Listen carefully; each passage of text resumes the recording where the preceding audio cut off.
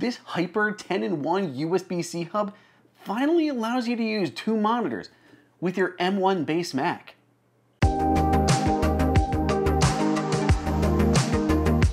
Welcome everybody to Apple Insider. It is Andrew here, and if you have not done so already, please take a couple seconds and subscribe and turn on those notifications so you don't miss any of my videos. Now there are a lot of USB-C hubs out there, a lot of Thunderbolt hubs, but this one is pretty special. This is the Hyper Hyperdrive 10-in-1 USB-C hub, and it works with all of the latest Macs. And in particular, it's extra useful if you have an M1 based Mac. See, as good as Apple's first Mac custom silicon is, it doesn't allow for the use of multiple external monitors. Apple's M1 Pro and M1 Max processors allow you to use multiple external displays, but the MacBook Air, the entry-level MacBook Pro, the 24-inch iMac, all are limited to one external display.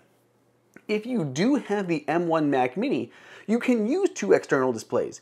One will have to go out over Thunderbolt, the other will have to go out or USB-C, and the other one will go out over HDMI. But you're still limited.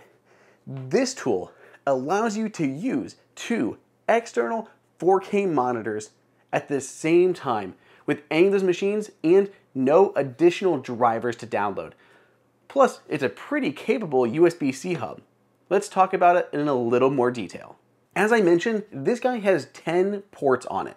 Let's go ahead and look at them starting on the far left with our audio jack. So the first one is a 3.5 millimeter audio port. It's a dual purpose, so it's speaker and microphone. Here we have a USB-C port. This one does 5 gigabits per second of data. We have two USB-A ports. Each of these can do 5 gigabits per second of data as well.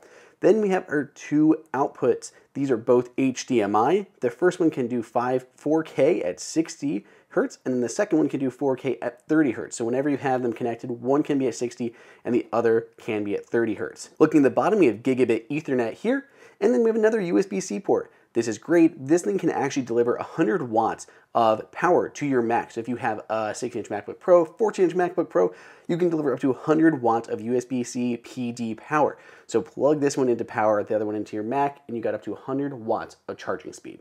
Following it up on the last side, aside from regulatory information, we have our two SD card readers, regular SD and micro SD. These are both capped at just over 100 megabytes per second.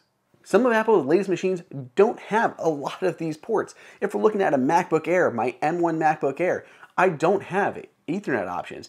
I don't have SD or micro SD card readers, and I don't have any USB-A ports. This hub can be immensely useful but I don't need to demo how all of those ports work for you guys. You can look at the ports and determine if they are the right ones for you. Personally, I would have preferred an additional USB-C port or so. Especially on the MacBook Air, there are only two USB-C ports, and when I connect this in, takes one away, and one of these goes to power. It makes it a little more limited. I basically still only have two that I can utilize, and I'd like a couple more but that's just me. There is at least those USB-A options that can still do 5 gigabits per second of data, so I can't fault them too much. But what I really want to talk about is those two HDMI ports. I think that is what is most impressive about this guy because there are many people who have these M1 machines and cannot use two external monitors at the same time. So I'm going to show you how to do this. There's no drivers to download, it's plug and play.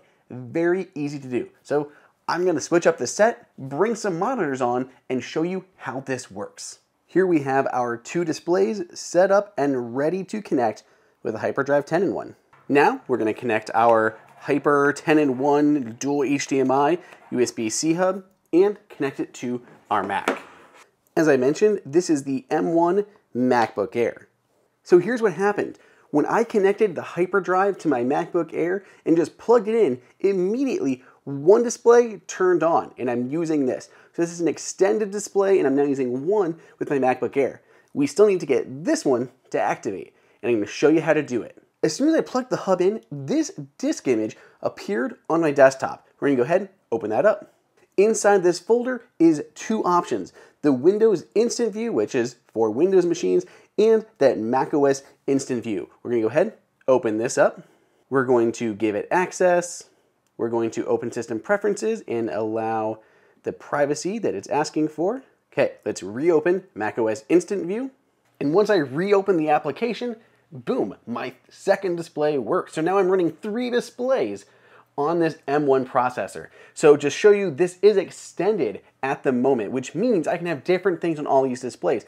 I can drag this window up. You can see my Mac is just below on the bottom, so I can put this over here, boom, boom, boom, move it to the right over here, wiggle, wiggle, wiggle, or move it back down to my Mac display here. So I can open up a Safari window, move this to this side. I can open up Apple TV, start watching, and move that over to this side, and open up photos, anything else, you know, down here on this machine. So I'm using three monitors, two external displays and the one built-in display on the M1 chip, which is only capable of powering one external monitor.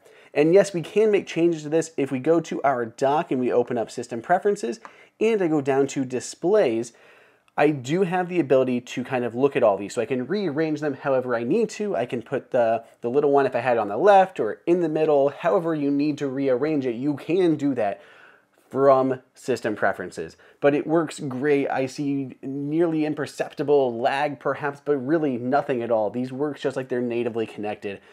If you need to use two monitors with your M1 MacBook Air, MacBook Pro, iMac, anything like that, dang. The Hyper 10 in 1 is probably the best way that I've seen so far to pull it off. So that's it. That is the Hyper Drive 10 in 1 dual 4K HDMI USB-C hub. That is perfect for your M1 based Mac, but it will also work with a bunch of other Macs as well. Use it for your MacBook Pros, use it on your iPad. This thing is versatile. If you'd like to grab one for yourself, I have a link for it down below in the description. Go ahead and pick one up. Let me know your thoughts in the comments or on Twitter at Andrew underscore OSU. Otherwise, stay tuned. You know I've got another video heading your way.